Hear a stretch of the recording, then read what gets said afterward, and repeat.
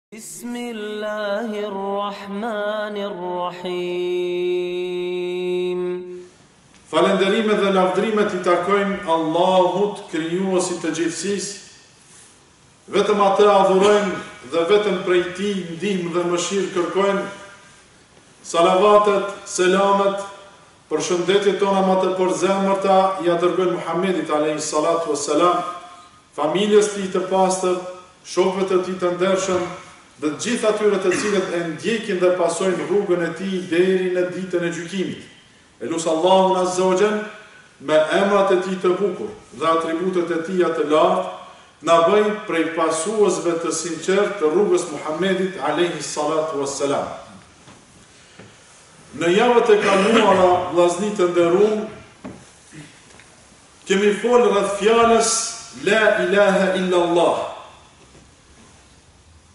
rreth pjesës së parë të shehadetit Kemi tregu me anë të ajeteve dhe haditheve të Pejgamberit alejhi salatu selam vlerën e saj. Edhe tu bazu çdo herë në fjalët e Allahut dhe të Pejgamberit alejhi salatu selam kemi thënë se kjo fjalë ka obligime dhe kushte që ato duhet t'plotësohen që të kemi dobi nga kjo fjalë.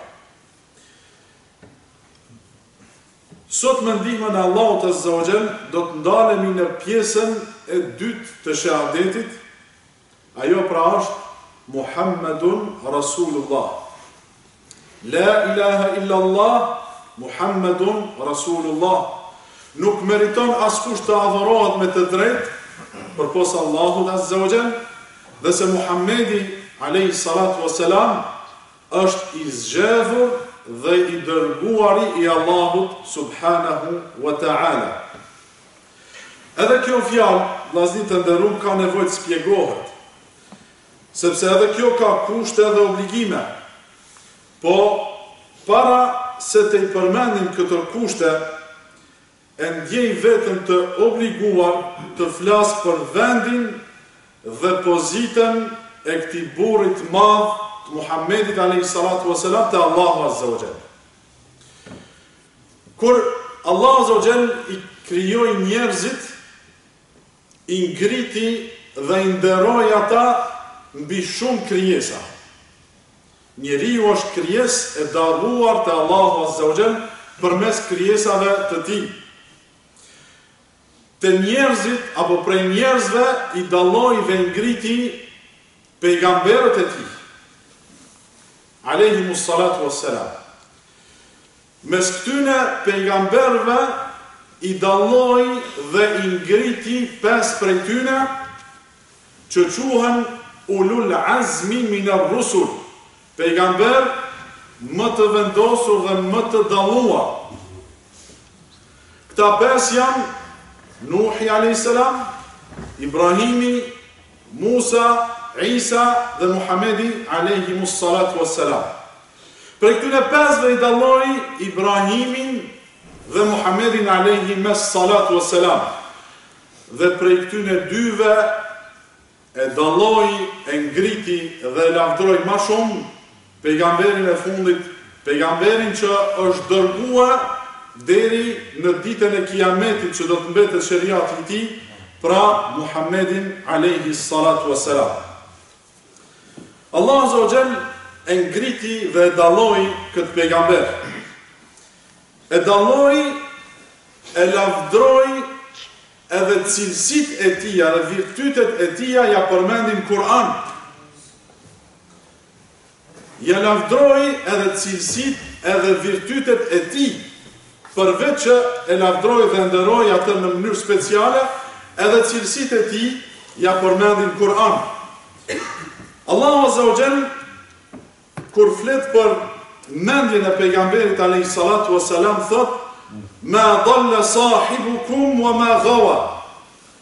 Shoku juaj, Muhamedi alejhi salatu ue selam, nuk ka humbur e nuk ka devijuar, sepse të gjithë e dini se Muhamedi alejhi salatu ue selam gjatë davetit të tij është akuzu me lloj lloj akuza, Të pabaza, i thonin i çmendur, i qe, i thonin magjistar e të tjera të tjera.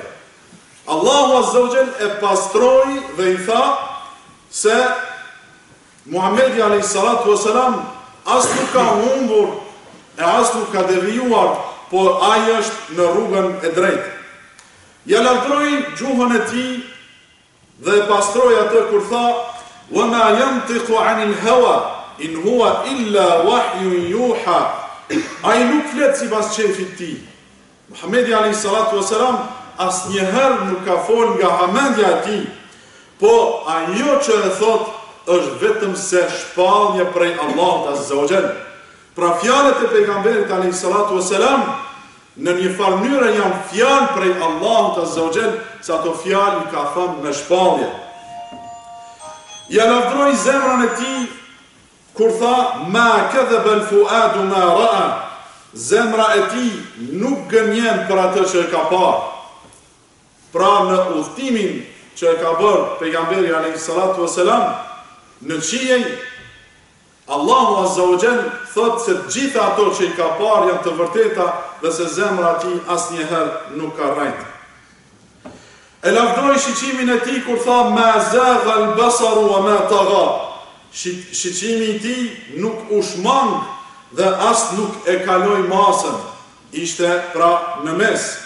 Allahu Azza wa Jall e lavdëroi Dhe ia ngriti famën kur tha, Wa rafa'na laka dhikrak, Dhe Ne ta ngritëm famën tënde.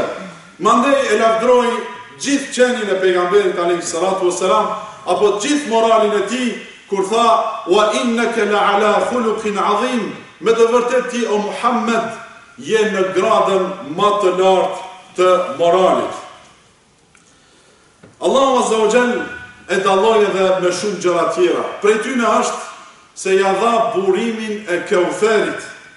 Burimi i Keutherit, burim uji që është më i bardhë se qumështi, sikur që shkon në hadith dhe e Pejgamberit alejhi salatu ves selam, është më i ëmbël se mjalti, Numri i gotave pranë tij është sa numri i yjeve në qiell, kush pi nga ai ujë nuk etet asnjëherë.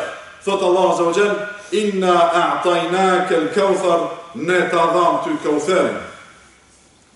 Allahu azza wa jall të gjithë pejgamberët i ka thirrë me emrat e tij, me emrat e tyne. Ndërsa kur e ka thirrë Muhammedin alejhi salatu ue selam e ka thirrë me titullin e tij. Kjo nder dhe dallim nga të tjerët.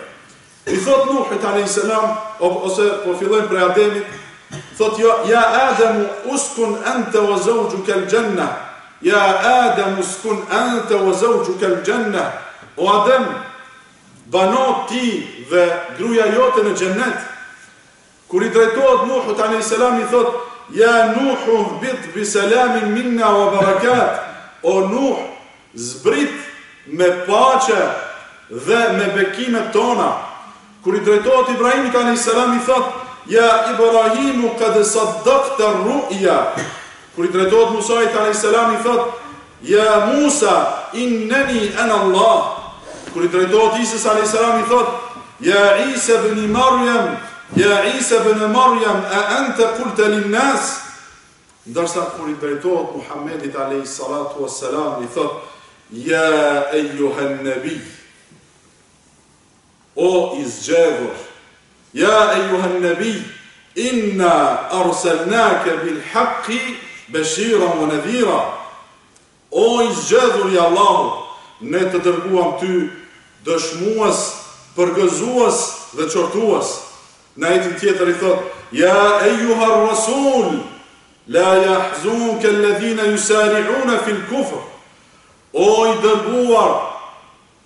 Mos të të mërzitin ty njerëzit të cilët vrapojnë mas kufrit.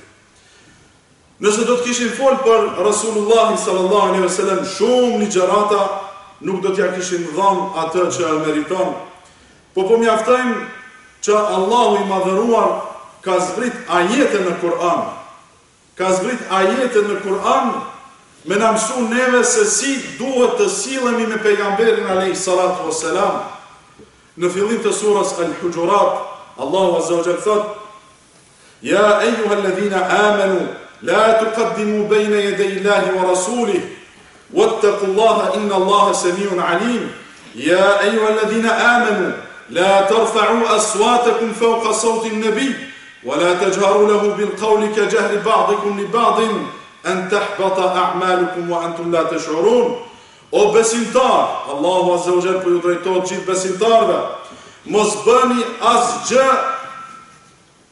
Para se të orientoheni me udhëzimet e Zotit dhe me udhëzimet e Muhammedit alejhi salatu ue selam, keni kujdes Allahun, se me të vërtetë Allahu i dëgjon të gjitha dhe i di të gjitha. Ajeti tjetër, O besimtarë, mos e ngritni zërin tuaj mbi zërin e Pejgamberit alejhi salatu ue selam. Pra, në mexhliset ku ka qenë Pejgamberi alejhi salatu ves selam prezent, ka qenë e ndalume prej Allahut azze o xhel që njani prej sahabëve me ngrit zanin ma shumë se sa zani i Pejgamberit alejhi salatu ves selam. Çka thotë Allahu azze o xhel? Dhe mos flisni me të sikurse që flisni mes njani-tjetrit apo mes njoni-tjetrit, se mund Të ju zhduken veprat tuaja dhe ju duke mos e ditur atë. Pra mos respekti i Pejgamberit alejhi salatu selam, ngritja e zërit mbi zërin e tij, apo bisedimi me të sikurse me shokët tjerë, është rrezik që zhduken të gjitha veprat e mira, kështu po thotë Allahu subhanahu wa ta'ala. Muhammedun Rasulullah, Muhammedi është I dërguar dhe i zgjedhur i Allahut. Kuptimi ma i gjan i kësaj fjale është dëshmojmë me gojë dhe besojmë me zemër se askush nuk ndiqet, askush nuk pasohet në çështjet e dinit, në çështjet e fesë islame vetëm se Rasulullahi sallallahu alejhi wa sallam. Që të jemi të saktë në atë që e themi dhe që kjo fjalë të na sjellë dobi, duhet të duhet të i plotësojmë edhe disa kushte. Sikur që kishte kushte fjala La ilahe illallah, edhe fjala Muhammedun Rasulullah i ka kushtet e saja. Këto kushte i kanë vendosur dijetarët e Islamit duke u bazuar çdo herë në Librin e Allahut dhe në traditën e saktë të Muhammedit alejhi salatu vesselam. Kushti i parë është ta mësojmë dhe ta kuptojmë kuptimin e drejtë të kësaj fjale. Ta mësojmë dhe ta kuptojmë udhëzimin e Rasulullahit sallallahu alejhi ve sellem në ato vepra që duhet t'i bëjmë.